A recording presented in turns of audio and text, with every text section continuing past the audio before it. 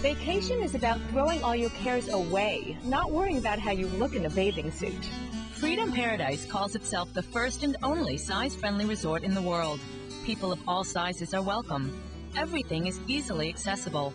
Furniture is designed for comfort. There's even a plus-size boutique. This is a group discriminated, and I want to offer them uh, a place where they can feel like uh, at home. Some facilities like the swimming pools, the entrance to the swimming pools, they have uh, stairs. It's very easy and very comfortable to get in and to get out of the swimming pools. And uh, the most of the bedrooms are ocean front, very close to the swimming pools and to the ocean. Now, I know that the resort is popular for weddings and honeymoons as well. Tell me about that. Yes, we have a chapel. The beach is a, a wonderful place to have a, a wedding. I'm sad to say that does it for our trip to the Mayan Riviera, but I've got one last attempt at de-stressing before we go.